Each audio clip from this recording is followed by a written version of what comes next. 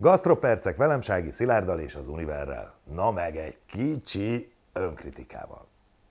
De csak kicsi.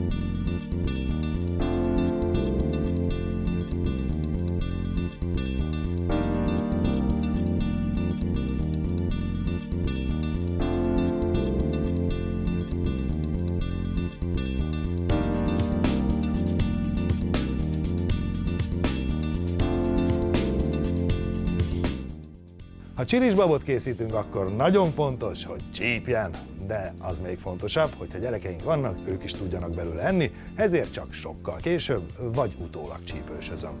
Ugyanolyan finom.